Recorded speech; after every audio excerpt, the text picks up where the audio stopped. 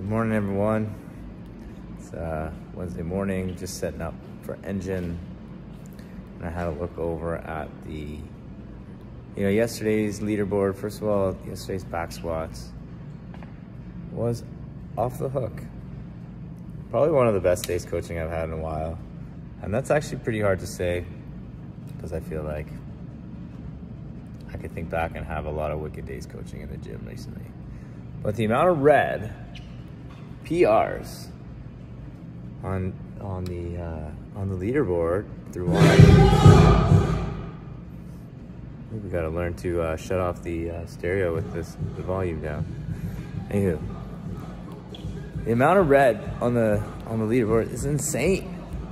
So many PRs, and uh, you know, I, I, guess I highlighted at the party like obsessive PRs and that kind of stuff. And, um, it's a bit of a running joke, but I mean, at the same time, it is really awesome to see improvement. I think uh, measurable results are what make CrossFit so special.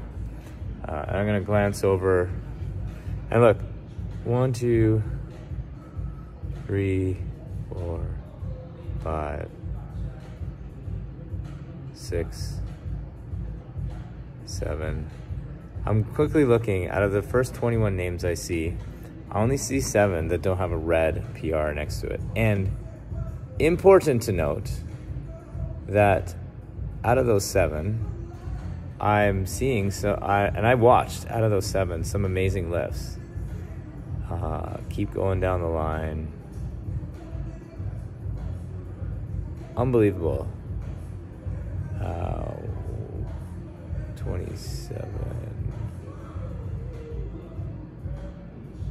There's something like 25 people PR'd their lifts. It's insane. Uh, look at all that red. And more importantly, you know, we back squatted for a max yesterday. And I'm gotta be honest, one of my key ethos is uh, safety in the gym. Like, I take a huge responsibility that one of the main goals in this gym is that you come to the gym and we don't hurt you. And doing things for a one rep max certainly dial up the risk. But I didn't see anything risky. Oh, sorry, I lied. I saw one ill communicated uh, bail slash uh, spotting, but not in the movement. So you guys all deserve a huge pat on the back. Proud father here. Uh, yeah. uh, let's enjoy the rest of the week. Uh, today's engine looks fun.